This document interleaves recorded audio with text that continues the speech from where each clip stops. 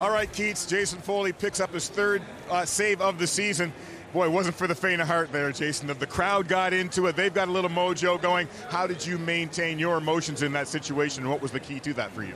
Uh, yeah, just try to take, uh, just try to focus on taking a deep breath and um, just executing one pitch at a time. Um, obviously, came in like you know, bases loaded, no outs, um, so you can't really get three outs in one play. So I was trying to just get one out at a time, focus on one pitch, and execute. And uh, Haase did a great job calling great pitches.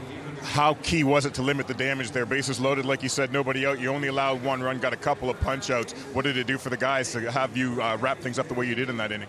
Yeah, I think it was important to uh, you know obviously limit the damage. We had a three-run lead, and um, I was uh, it was it was great to only let up one run there and give myself a good chance of getting the save there in the in the ninth.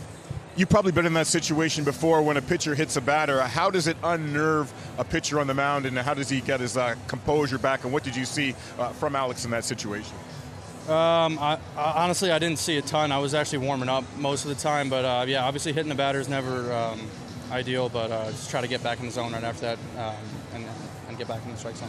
You guys come away with a series victory here as you head back to Detroit. How big is this for the team as you guys try to regroup and uh, still uh, chase down this uh, Central Division title here? Yeah, huge, uh, huge series. Obviously, we, we, we've been dropping a few games lately, but taking three out of four against the division leader. Um, heading back home is awesome. We got a few more division games coming up, three against them, so hopefully we can uh, keep getting these wins and uh, keep keep uh, climbing back. Before I let you go, just on a personal note, what does it mean to you to, for you to come in here and pick up a save in the way you did here today?